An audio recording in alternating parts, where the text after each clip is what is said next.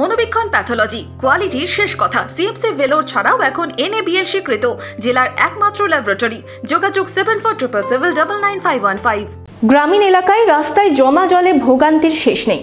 জল নিকাশি ব্যবস্থা ও রাস্তার দুধার খালি করতে তৎপর ভগবানগোলা দু নম্বর ব্লক প্রশাসন ও রানীতলা থানার police. Little heart diagnostic and imaging centre feel your quality service, covid সতর্কতা মেনে চলুন, মাস্ক পরুন, বাড়িতে থাকুন। কোভিড সংক্রান্ত প্রয়োজনীয় সহায়তায় আপনার পাশে রয়েছে little heart diagnostic and imaging centre. আপনার সুস্থতা আমাদের কামনা। গ্রামীণ এলাকায় রাস্তায় জমা জলে ভোগান্তির শেষ নেই।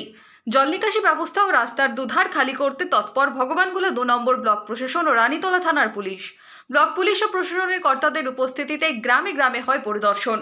মূলত রাস্তার উপরে অবৈধ নির্মাণ করে রাস্তায় যাতায়াতের সমস্যা এবং সামান্য বৃষ্টিতেই জমা জলের অভিযোগের ভিত্তিতে এই পদক্ষেপ নেওয়া হচ্ছে বলে জানান ব্লক প্রশাসনিক কর্তা। মঙ্গলবারও চলে বিশেষ অভিযান। পাশে যত মানে আপনি দেখছেন এখানে ওয়াটার লগিং একটা সমস্যা আছে চিরদিন দশ বারো বছর থেকে আছে।